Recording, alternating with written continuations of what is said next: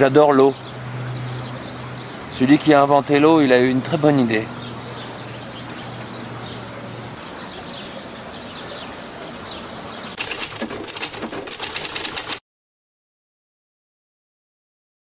Tous les trucs sur lesquels tu fantasmais quand tu étais plus jeune, en grandissant, tu t'aperçois qu'en fait, mais putain, euh, tes, désirs ils sont plus à la hauteur de la vie que, de la vie que tu mènes maintenant quoi.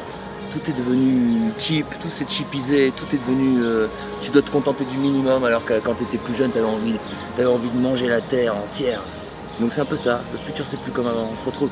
Un peu, ça peut paraître un peu défaitiste ou, pessimiste, mais en fait euh, c'est plus, euh, plus une touche d'espoir que j'essaye d'apporter. Vu que ça reste quand même un spectacle comique.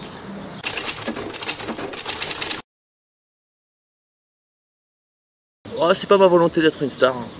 Encore moins une hyper star. Et encore moins de draguer pour devenir une star. Non, j'ai du GHB pour ça. C'est la, méthode la plus radicale pour moi.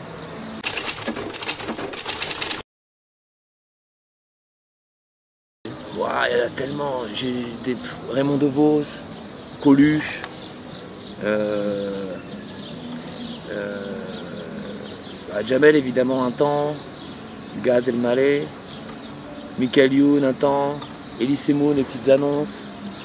Parce que bizarrement, même si c'est des gens, je des gens qui font pas toujours de l'instrument sur scène ou voire jamais, l'humour ça reste un truc très très musical en fait. Euh, Il y a une musicalité, euh, il y a une musicalité permanente dans l'humour. Le sens du timing, euh, la fin d'une vanne, le début d'une vanne, l'accroche d'une punch. C'est très musical en fait.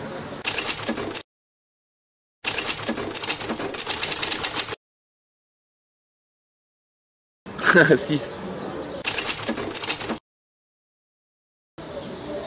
La poule.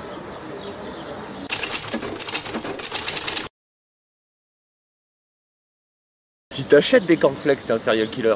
Si t'en manges surtout. Merde, qui mange encore des cornflakes?